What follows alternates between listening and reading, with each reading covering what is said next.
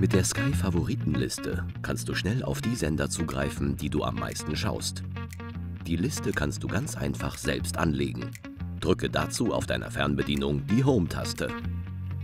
Navigiere anschließend im Menü in den Bereich Mein Sky Q. Gehe dann auf Favoriten, Favoriten verwalten. Hier kannst du deine Favoritenliste anpassen. Wenn du auf Hinzufügen klickst, kannst du deine gewünschten Sender zu deinen Favoriten hinzufügen oder löschen.